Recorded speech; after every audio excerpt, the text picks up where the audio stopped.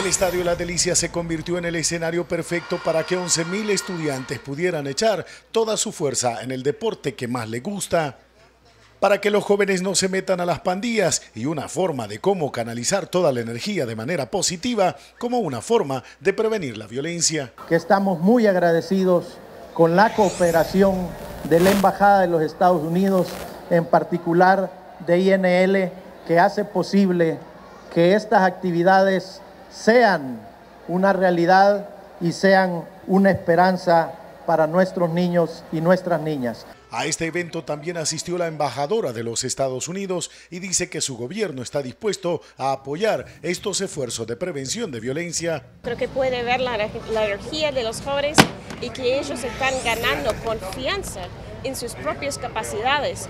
Y para nosotros eso es una parte del programa, que no solamente con los jóvenes, pero también con los miembros de sus familias, que ellos pueden participar en eso todo el año. Miles de niños y jóvenes disfrutaron del cierre de esta actividad.